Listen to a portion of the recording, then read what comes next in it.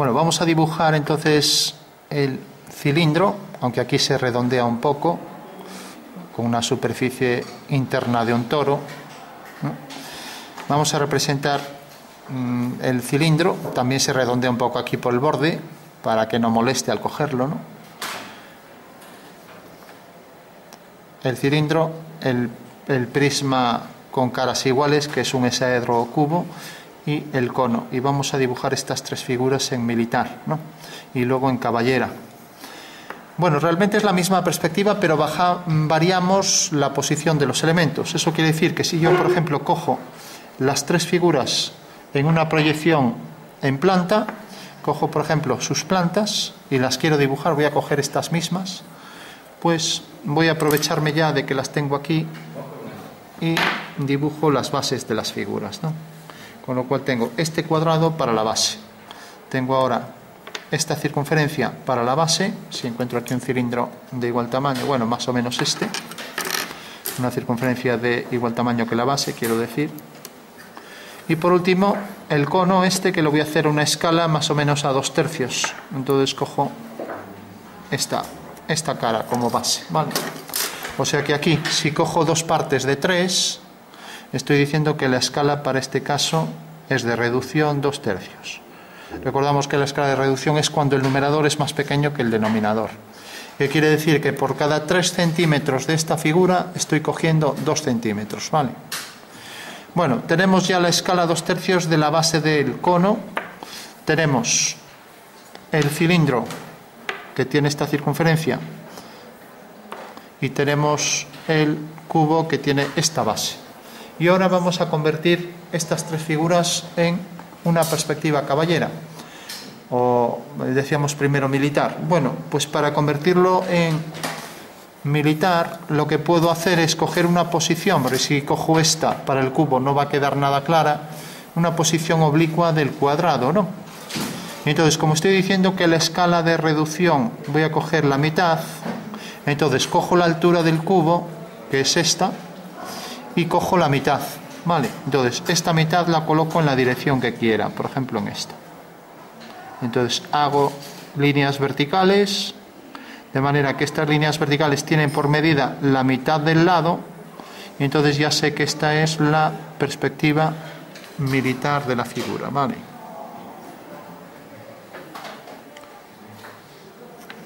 Bueno, pues como veis en la militar, la figura aparece una cara en verdadera forma, tal cual es.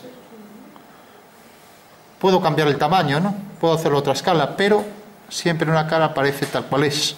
Con lo cual podría decir, por ejemplo, colocar aquí un eje Z, siempre el Z vertical, este eje, por ejemplo, el X o el Y, voy a poner este Y y este X. Vale. Fijaros que el plano XY, el plano coordenado XY coincide con el del papel, ¿no? Bueno, pues esa sería mi figura.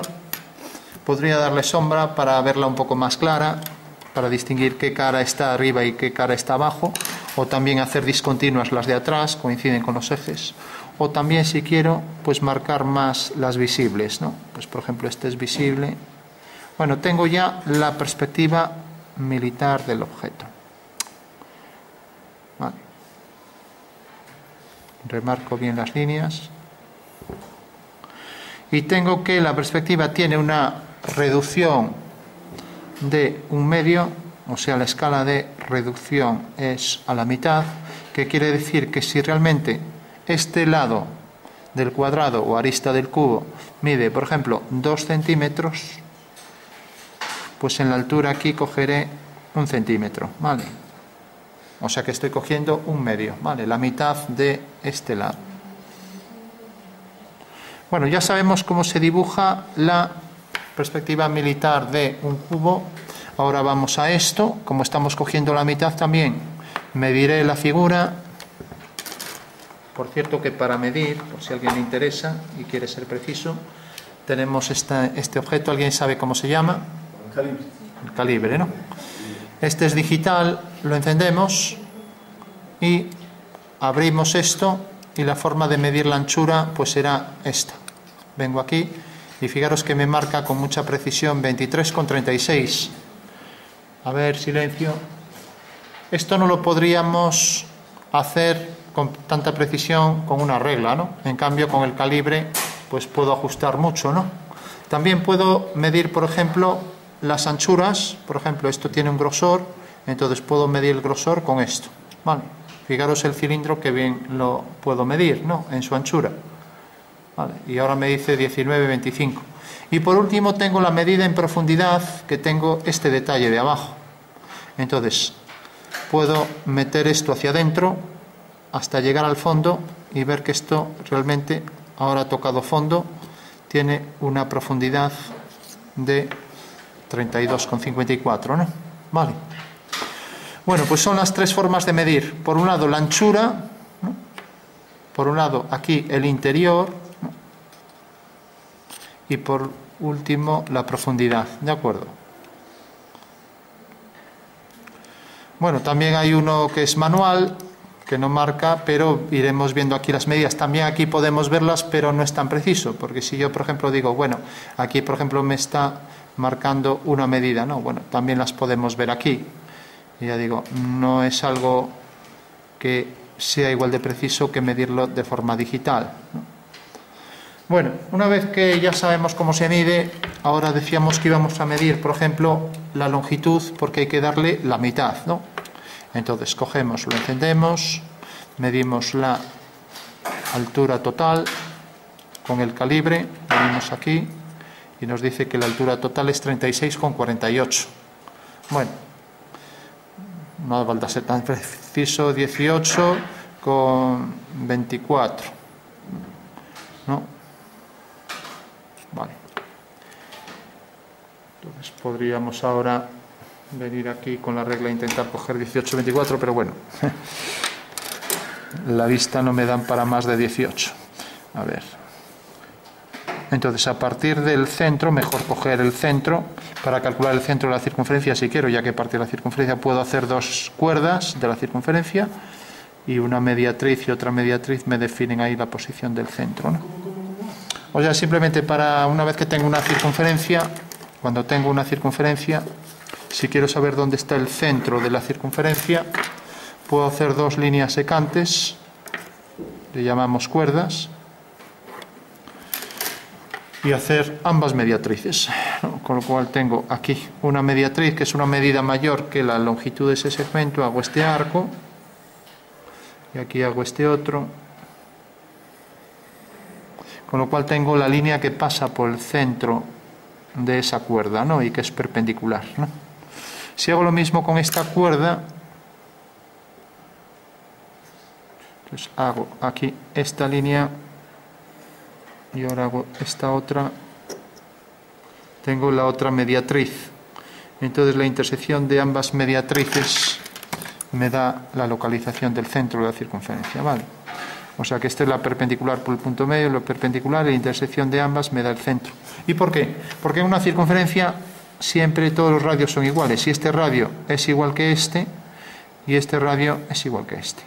Bueno, sería un procedimiento que no tenemos por qué hacer si directamente lo hacemos con compás, ¿no? Pero bueno, yo ya que lo hice con plantilla, pues entonces, bueno, eh, ¿cuánto era? 18,24 decía. Bueno, entonces, 18,24 que era 36,48, ¿no? Bueno, 18-24, entonces siguiendo la dirección del eje Z hago una paralela y aquí cojo sobre este eje vertical, cojo, una vez que tengo el centro, 18-24. Entonces vengo aquí, 10, 15, 16, 17, 18, bueno, más o menos por aquí. Bueno, pues ese va a ser el centro de la circunferencia. Podría coger este, esta, este radio y repetir aquí ya y hacer ahí la circunferencia.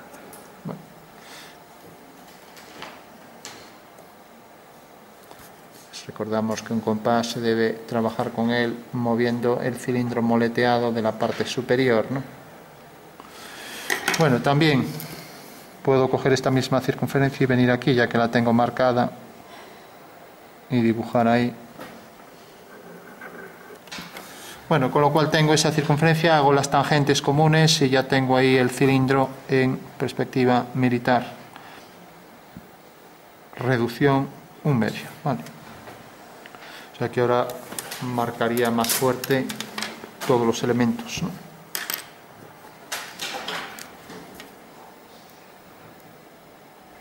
Bueno, dibujaría por aquí bien con la plantilla esto. ¿no?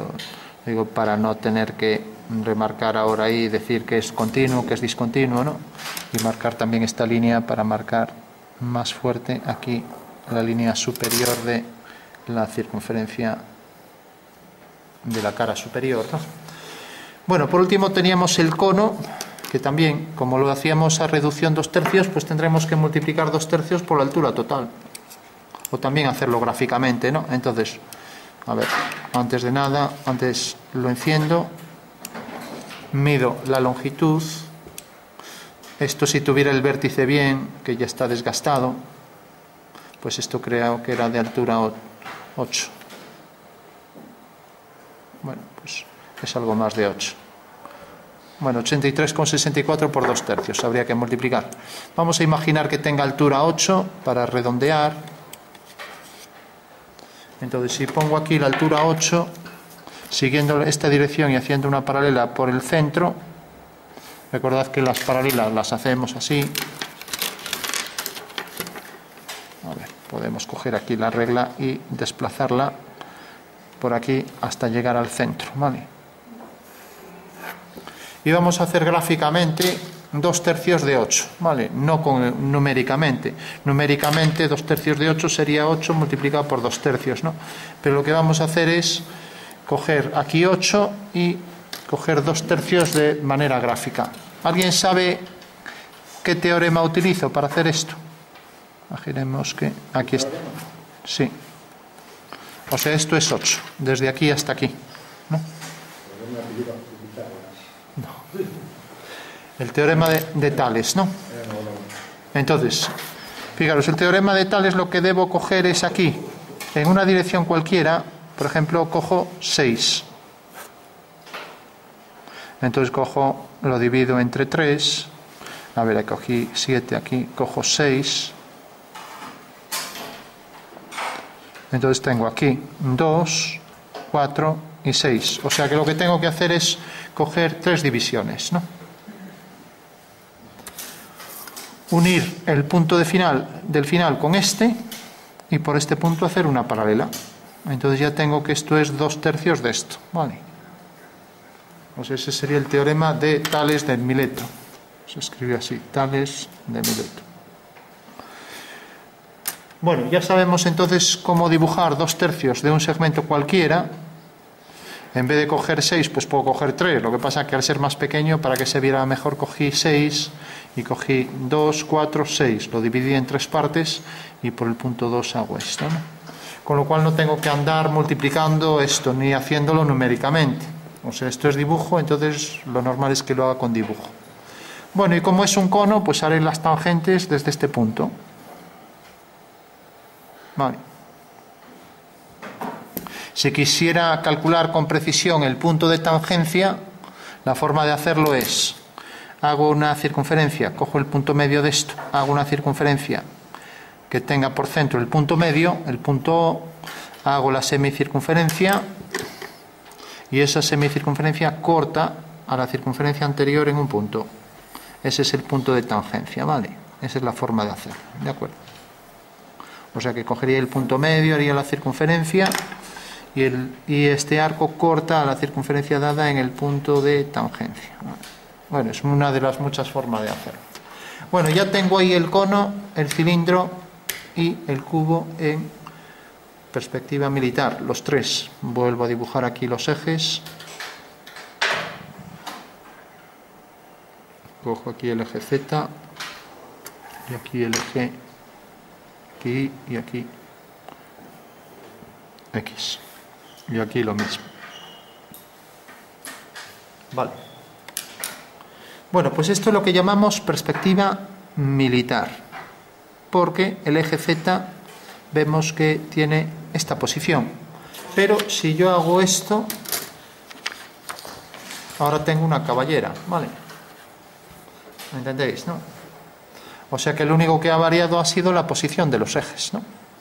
O sea, este que era el eje Z, ahora pasa a ser este el eje Z, intercambio Z por Y, ¿no? Vale. Entonces alguien me dirá, bueno, ¿y si es la misma perspectiva porque tiene nombres distintos, solo variando ejes? Bueno, porque en realidad el cilindro antes estaba en una posición como esta, pero ahora en realidad está en esta posición, ¿no? Entonces alguien me puede decir, no, no, es que tú tienes que hacer, ahora tienes que hacer la caballera, caballera, pero lo tienes que hacer de manera que el cilindro se apoye en una cara, no en una generatriz, porque aquí está como apoyado en una generatriz, ¿no? Vale. Entonces, en caballera yo cogería esto y diría, bueno, pues ahora en caballera, para dibujarlo así tal cual, entonces voy a dibujarlo ahora a escala natural, entonces cojo la altura real, llega de aquí a aquí, cojo la anchura real, llega de aquí a aquí, y este es el alzado de la figura, ¿no? Y cojo ahora la dirección, por ejemplo, a 135 grados, y aquí aplico la reducción a la mitad de esto, pues por ejemplo por aquí. Bueno, pues ahora sí que dentro de este cuadrado en perspectiva caballera puedo colocar ya la elipse para hacer mi cilindro en perspectiva caballera. Entonces ahí está la diferencia, que me dice, no, no, es que en caballera debes también colocar el cilindro de manera que se apoye en una cara, como tenías antes en militar, que era así, ¿no? Estaba apoyado en una cara.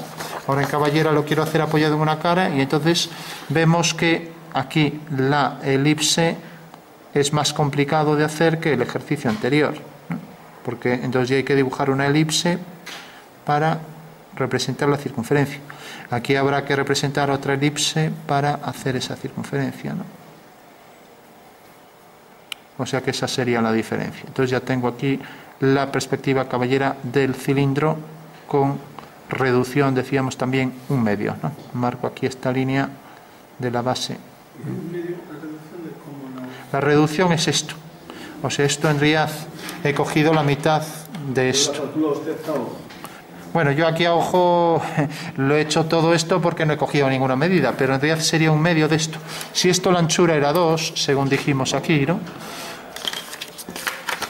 Pues tú habíamos dicho que esto medía un centímetro, bueno, no lo dijimos, pero el diámetro, lo voy a poner así, el diámetro de esta circunferencia es 2. Entonces, como sé que el diámetro es 2 y aquí tengo la reducción en caballera, aquí la reducción la aplico sobre este eje Y, la reducción sobre eje es un medio. Entonces ya tengo que el cilindro tiene en esta dirección este eje conjugado, conjugado es el que formaría con este en el espacio 90 grados.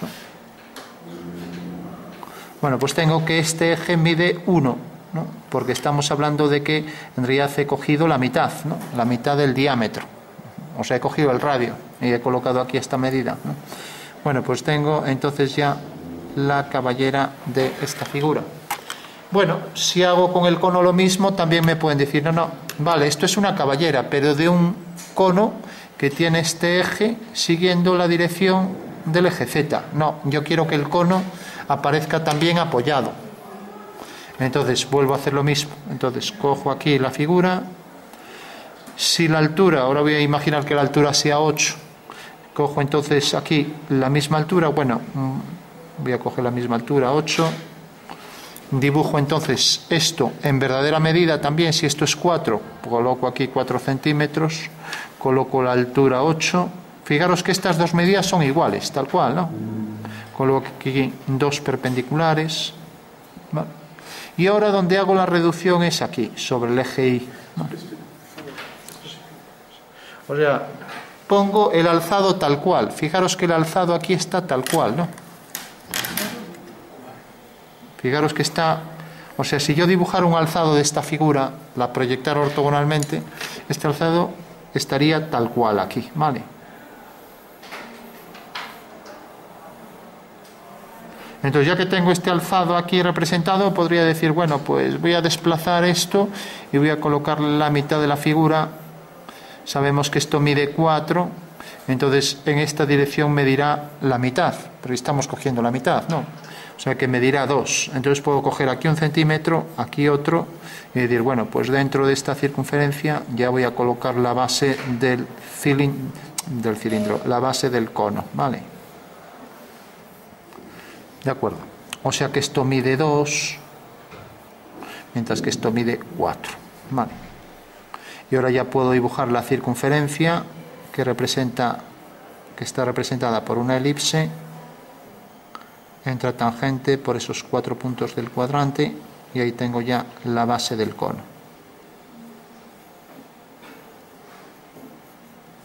Y una vez que tengo la base del cono, pues desde el vértice superior hago las tangentes, que por supuesto no van a coincidir nunca con esta sección meridiana del cono, ¿no? Porque esto es en realidad la vista en verdadera forma que pasa por este plano. Si coloco aquí, por ejemplo, el eje X, aquí el eje Y y el eje Z por aquí, pues tengo que el eje de la superficie de revolución del cono pasa por aquí. Pero ahora hago las tangentes a la elipse, con lo cual tengo ya la perspectiva caballera del cono. Tengo aquí una y tengo aquí otra.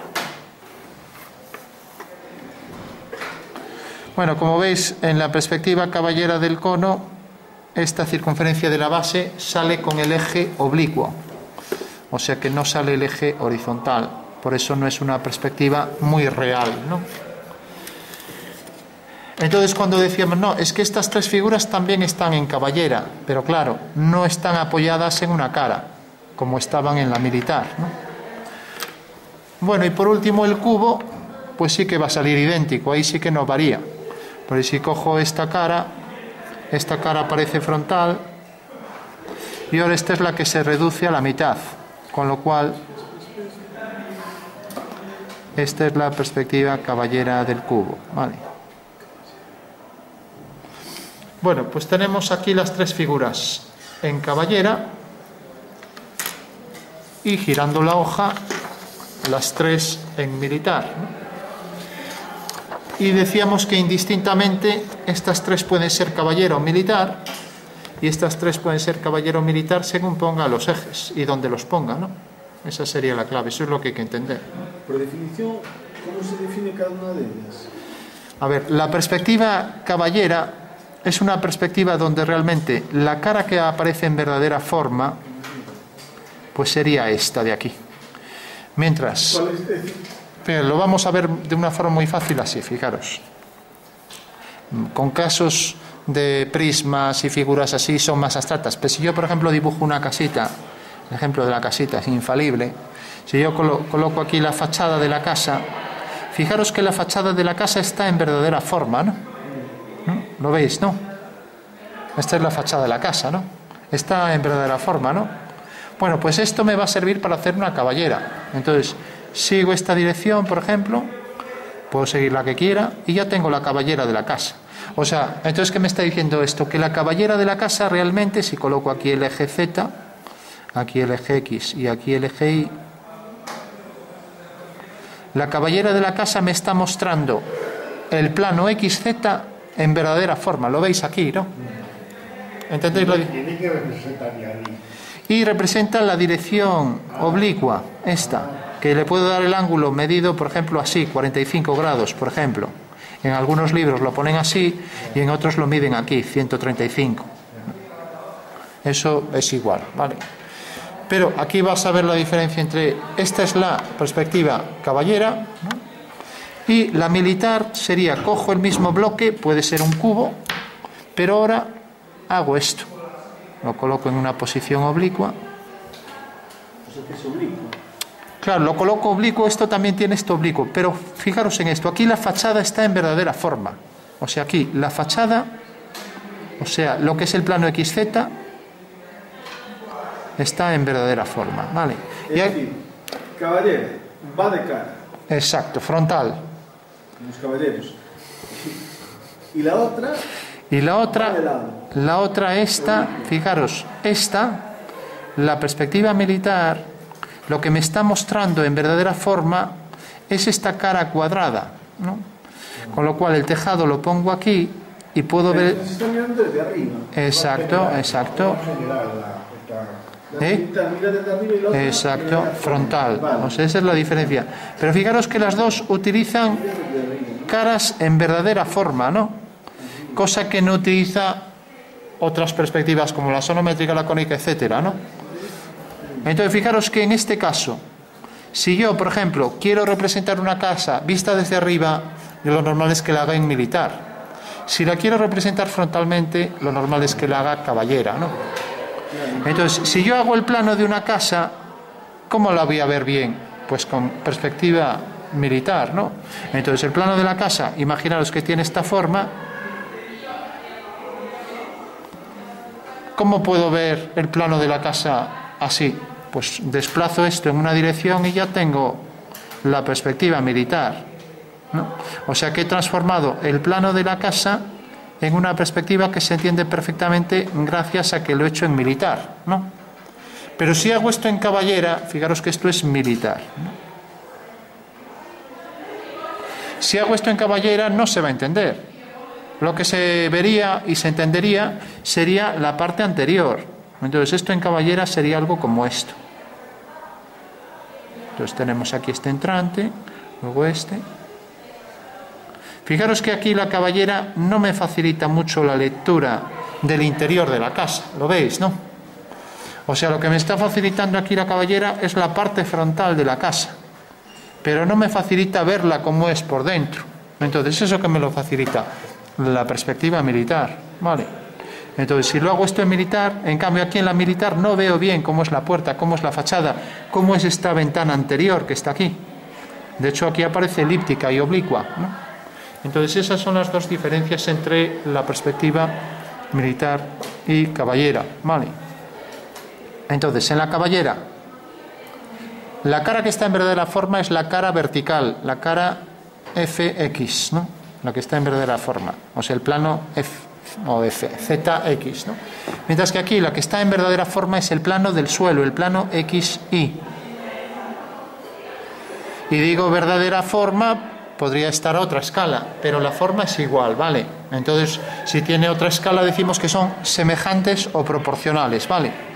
Y tengo aquí la dirección del eje Z, ¿vale? Bueno, pues esas son las dos diferencias entre la perspectiva militar y la perspectiva caballera. ¿vale? ¿Puedo transformar esta caballera?